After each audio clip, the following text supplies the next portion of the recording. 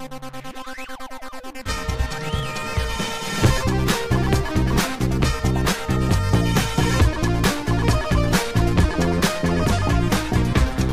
guys, welcome back. This is Matt Chat episode 139, featuring part two of my interview with David Fox. In this part of the interview, we continue discussing the early days at Lucasfilm Games and Koronis Rift and Maniac Mansion. We also talk about piracy and the tactics that Lucasfilm took to address the problem. And then we start to talk about uh, David's most famous game, Zak McKracken and the Alien Mindbenders. A lot of great stuff, so without further ado, here is Mr. David Fox.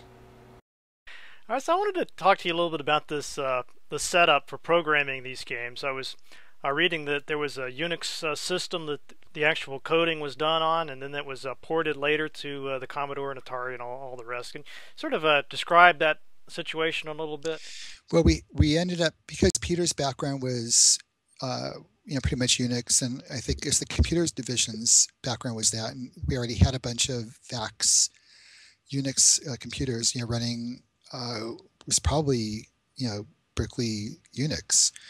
Um, the idea was, and, and, at the time, the the tool, the computers weren't that powerful, so it was really hard to get a really good compiler or cross assembler or whatever on those target machines.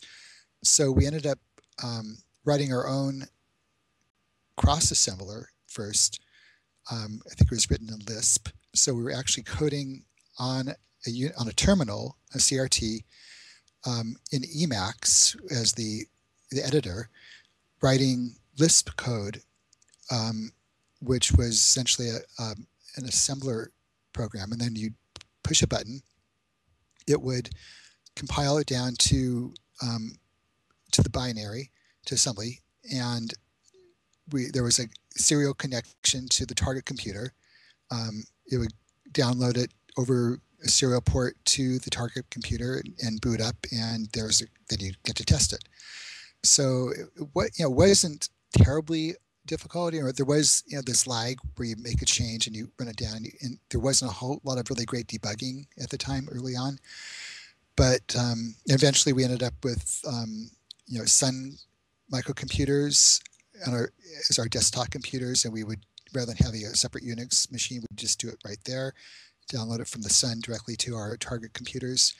I think on the when we did Commodore 64 work, we ended up with a routine which would download it to a to a floppy disk that was attached to the Commodore. The Commodore then you'd boot up off the floppy to play the game. Um, with Atari, I think it was directly into into RAM. Um, of course, when we went to PCs, then you didn't have to do that anymore because they were then powerful enough to have their own uh, you know code. Then we were using SCUMM um, for graphic adventures by the time that happened. Same thing for uh, uh, the Sun on the Sun systems. We were that's also we were using you know the SCUMM environment um, rather than assembly at that point. Did you have a preference for the Commodore machines or the Atari machines? Uh, I was always a, a, fan of the Atari machines, and um, you know partly because I started with that. I, I, wrote a book on on, I, I knew the system much better. Um, I thought it was a better computer, um, and I was really disappointed when when um, Commodore 64 became much more of a standard than the Atari was. So is yes, that the, talking about the, the 64 versus the like the Atari 800s, or are you talking about the Amiga versus the ST? No, I'm talking about the the pre-Tramiel days. Um, so the um, Atari 800 versus the Commodore 64. Uh, what about, uh, I wasn't sure what kind of involvement you had with the Koronis Rift.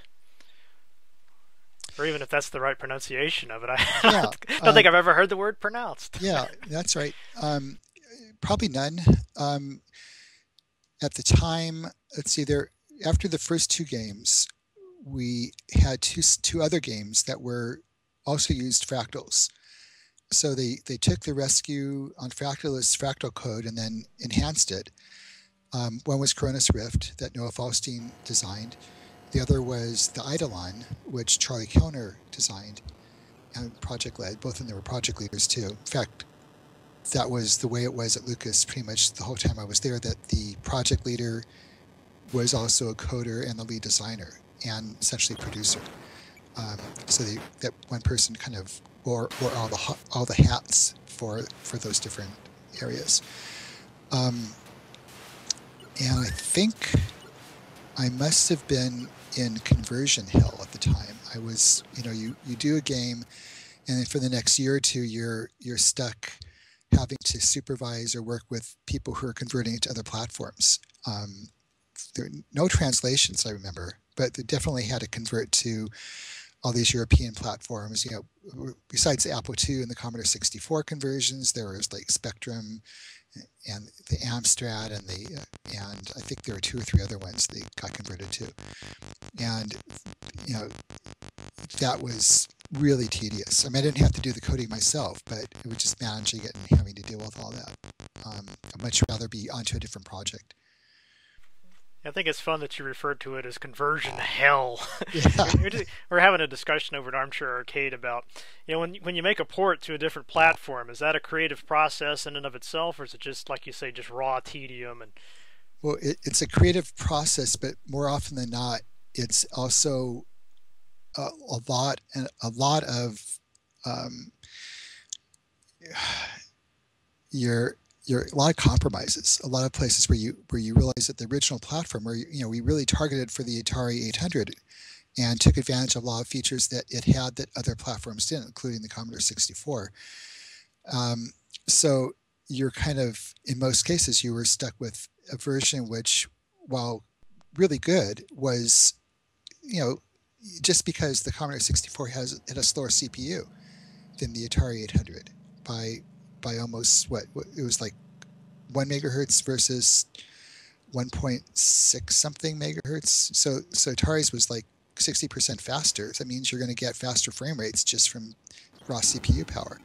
So you end up with a, you know, instead of six frames per second, it might be closer to four, which changes the whole way the game feels. Um, a bunch of other little compromises here and there, you know, made the game not quite. The sound was really good, but a bunch of other things weren't as good. And when you go to some of the other platforms where you didn't even have the Commodore 64 capabilities, like the Apple II at the time, or the Spectrum, you know, Sinclair or other computers, it was like, oh god, this is this is not my game. It's like taking your baby and, and dressing him up in, in rags or something.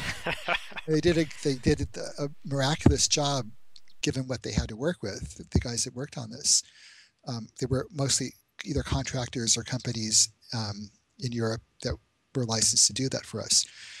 Um, so they did the best they could do with what they were what they had to work with.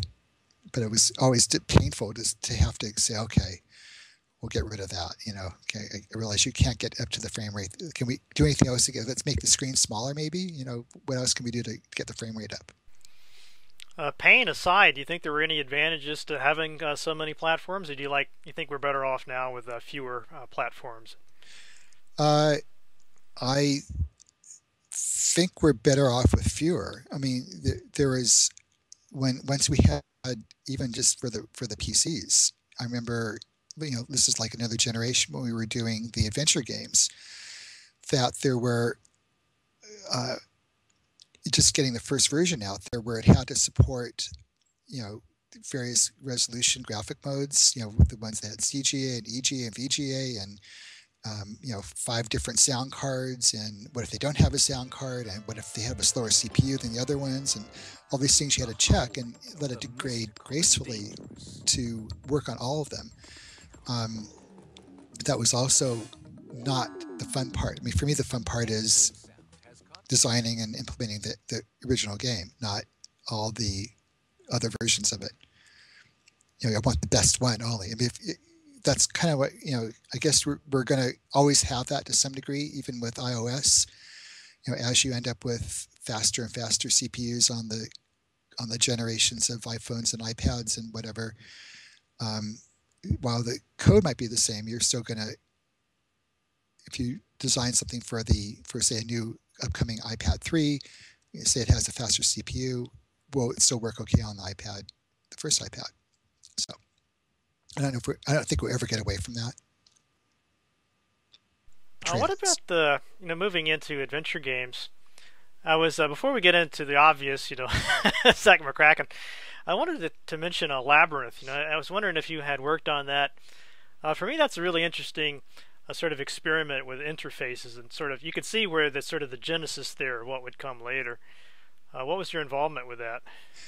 Um, I was the um, project lead and I guess lead designer. I, I ended up kind of sharing a bunch of stuff with Charlie Kellner, who was the technical designer, the technical lead on it. Um, we ended up, you know, that there were parts of that project that were really fun and parts that weren't. Um, that was one of the first games. I think it might have been the first game we did that was based on a license, even though it was um, it was a Lucasfilm production, the movie. Um, but it was it meant that it wasn't going to be original from scratch content. So we had to base it on something that existed. So that frees you up in some ways and also restricts you, obviously.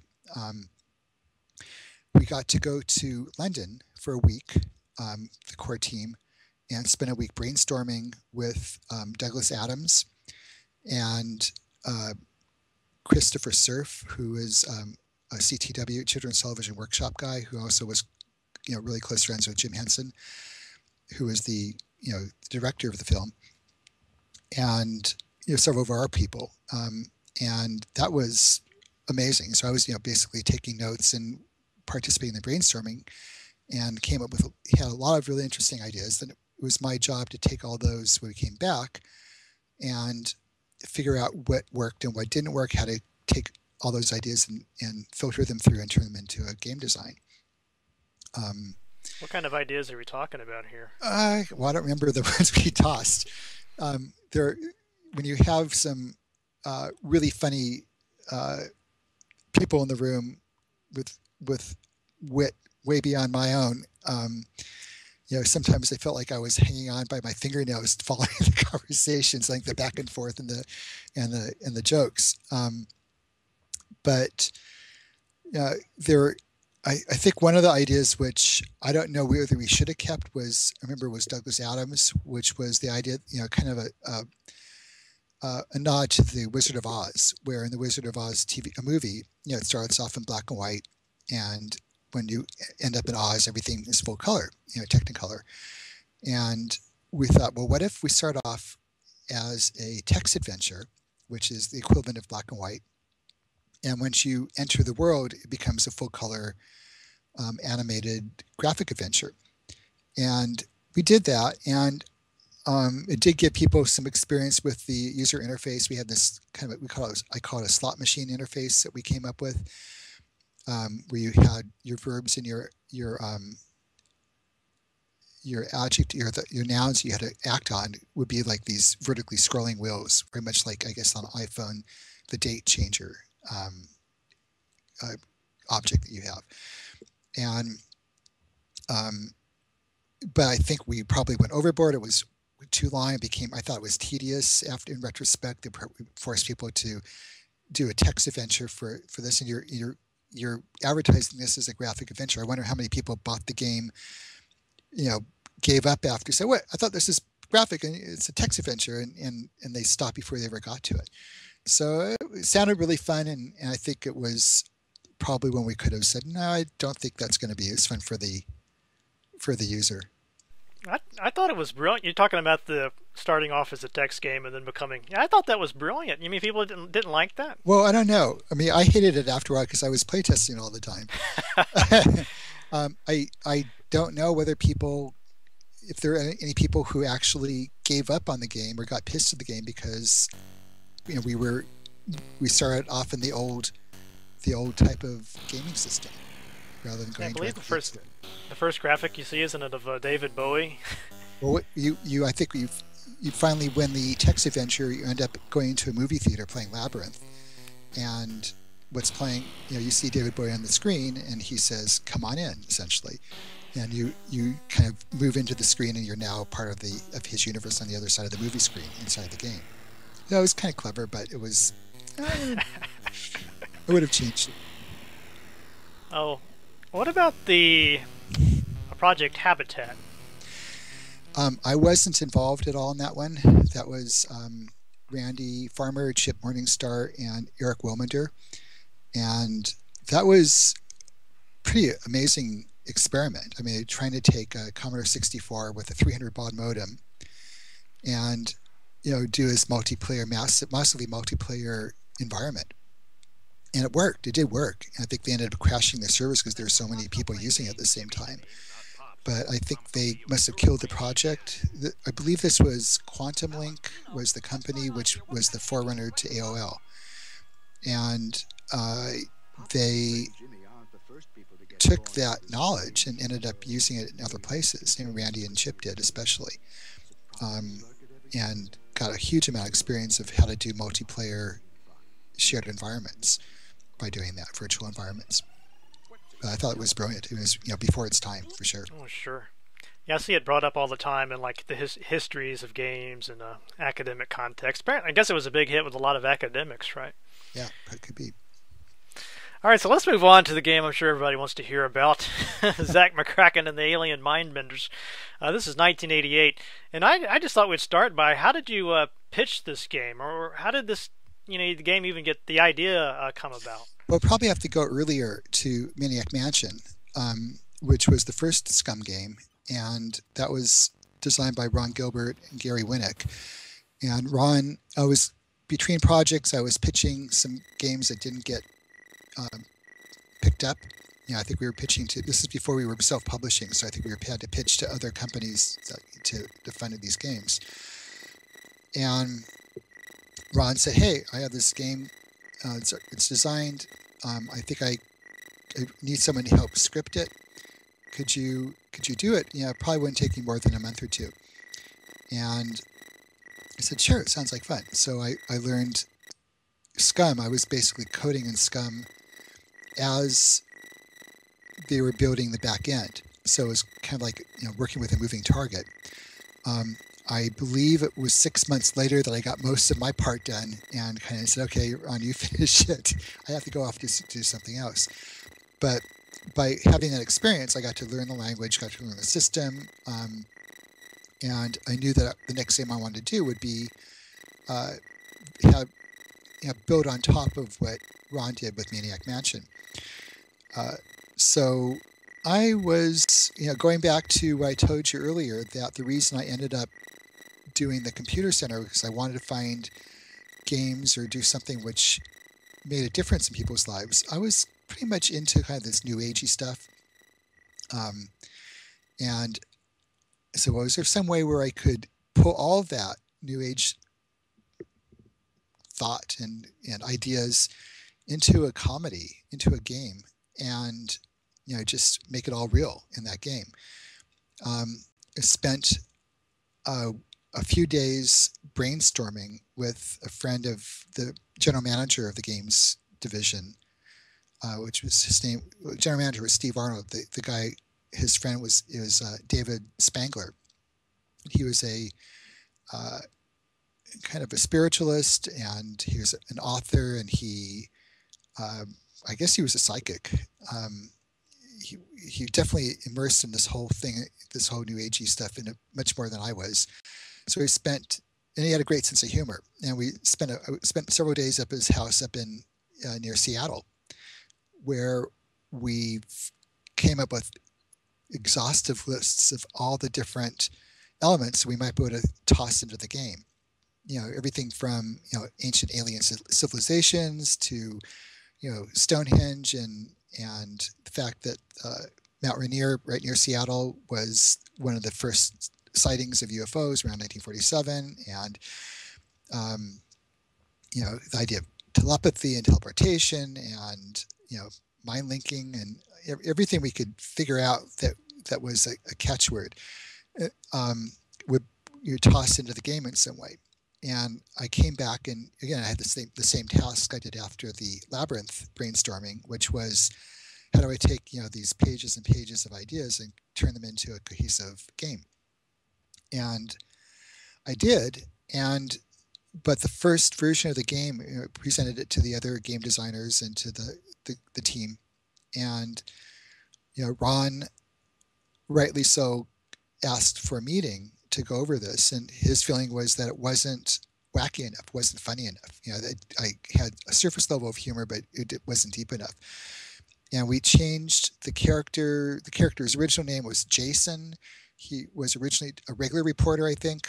Um, turned in, he became Zak McKracken, names he pulled out of a phone book. Um, he became um, a tabloid reporter, which opened it up to a whole whole other level of wackiness. You know, so the idea that all these tabloid stories were real. Um, that I could throw in a whole bunch more stuff, you know, like Elvis and the spaceship and everything else. Uh, and that was it. You know, it's pretty, you know, pretty much set. But then we didn't design it to the point where dialogue was written or anything. It was more like, here are the different puzzles that we had to go through. Um, here, here's the flow of the game.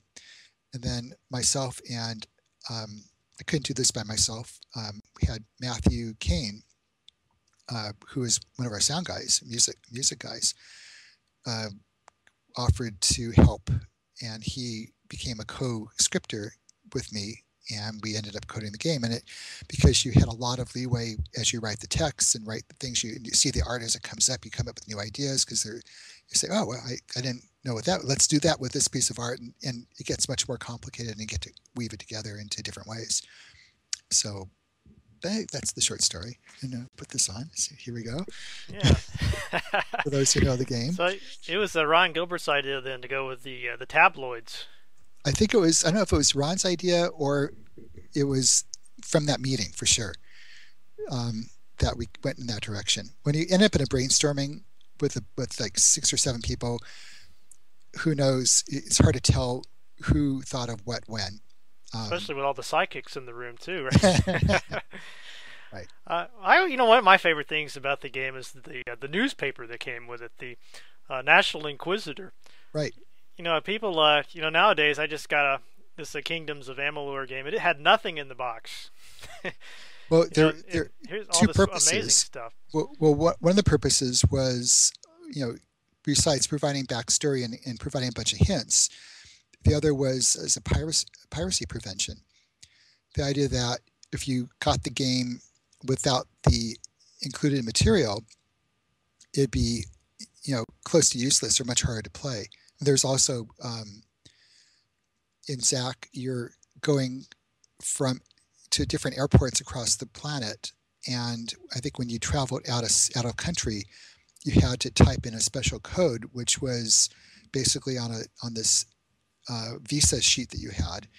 Um, it was a code sheet, you know, a, and it was printed on dark red paper that was close to impossible to Xerox, and that was a, a piracy prevention. And we, I mean, we were all very sensitive to piracy because our first two games were pirated, even before they were before they were published. Um, apparently, a, a, preview version of the games Rescue and Ballblazer, before they had their final titles, even um, got leaked to the message boards. This is before the internet was public or was wide, widely used. So it was the BBSs at the time, and made popular and downloaded and and you know there's that famous Tim Schafer story, where when he first came to interview for position of um, Scumlet, a SCUMM program, beginning SCUMM programmer. Scumlet. He, Scumlet. He, I, I was, I was the person he interviewed with first, and I said, "Have you played any of our games?" He says, "Oh yeah, yeah, I, I really like uh, uh, Ball Blaster." And I said, "Ball Blaster." And I said, "Yeah, yeah, it's a great game." He said, "Well, you realize that's the, the Ball Blaster is the pirated version of that Busted. game." Busted. he thought he he thought that he had totally blown the interview at that point. I was more ribbing him because I knew that you know I kind of wanted to see how he responded, but you know it's kind of good. So I could use that to see when people how they refer to the games, which ones they actually played. I'm trying to remember what I said. I think I said Ball Blazer. That's correct. Ball Blazer. Uh, yeah, no, even in the game, right? If you get this uh, wrong, then you get the speech from Zak. You know, yep. anti-piracy. Exactly. I mean, this must have been a just an awful problem for you guys. I mean, yeah. And, what, and we, what is? Why do you think people pirate so much? Uh, you're well. Someone breaks it. I mean, there's a challenge. If you, the more copy protection stuff you put into it, the more of a challenge it is for you know for a hacker to go in there and try to break the code. It becomes a metagame. Um, and then once they do, then it, you know, I guess part of the the pride is be able to post it and have other people download it. Um, I've pretty much, I think of, of the idea now that you, you, it's there to stay, so you figure out ways to to live with it. Run with piracy now as expected. So you, you better solution would be to use it as a way to promote a game and get it white more widely spread across the universe. Then hopefully people will buy the the add-ons or the upgrades or the expansion packs or the whatever it is. But I yeah, don't I was, know. Yeah. Even when I had uh, Jay Barnson on a few months ago as an independent guy, you know, just one guy that invested all his own money and everything. It's like not even a, a day after he releases it, it's on all those torrent sites. Yeah. You know, it just blows my mind. Well, if you once you've had that experience of having something you've worked really hard on pirated like that, it, it changes your perspective uh, quite a bit. You know, think twice. Hopefully, you think twice before taking someone else's pirated stuff. How do you feel now about all the uh, you know, sort of abandonware and people uh, downloading games like Zak for free? Uh, well, that's fun for me now. I mean, what I love to see, of course, would be to help Lucas LucasArts decide to go back to some of the old games, uh, like they did with um, the Monkey Island games, and reimagine them, or you know, pop them back up again, or do sequels, or or whatever. Um, I think they were looking at going. They were going in that direction at one point a few years ago um, when they did the Monkey Island upgrades or conversions or or reimaginings. Um, but I guess the cost was still pretty high, and they, I think they must have gotten edict to go back to the Star Wars roots and, and stick with that, and rather than doing adventures.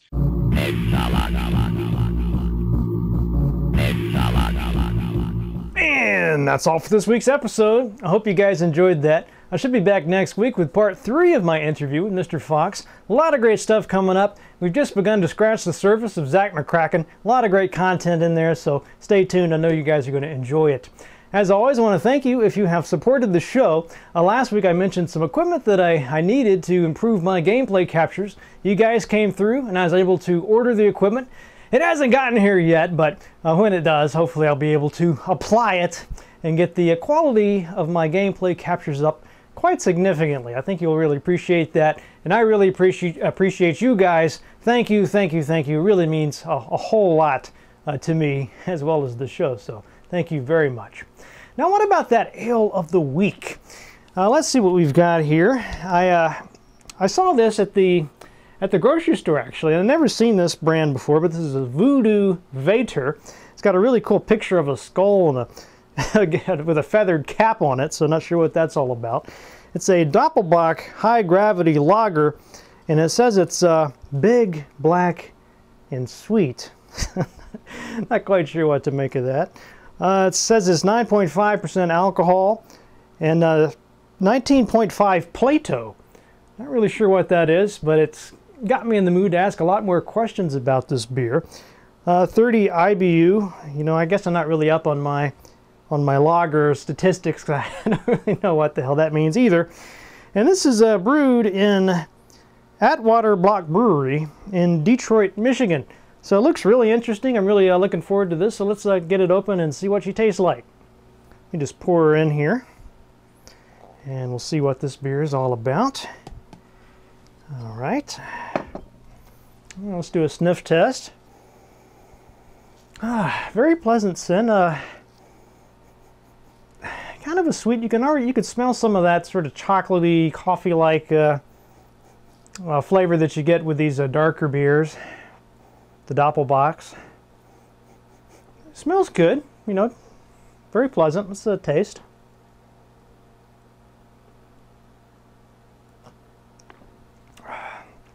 Wow, that is very, very smooth. Just, uh, you can't get smoother than that.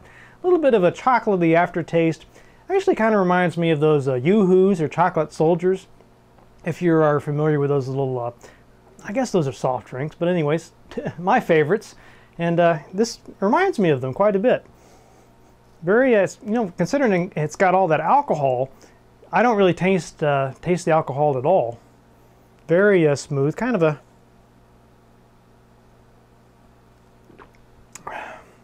main thing I'm tasting is that sort of chocolatey coffee taste. Uh, that's definitely a dominating. Uh, no real aftertaste.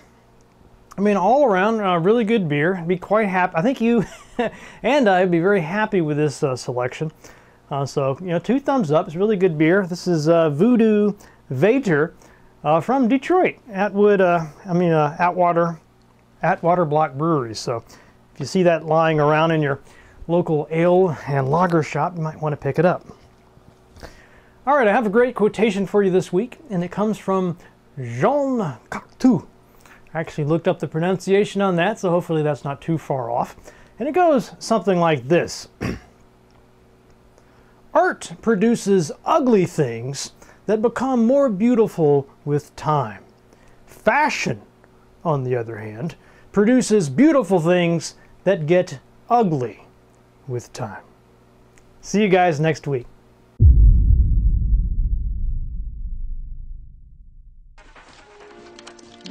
Mario.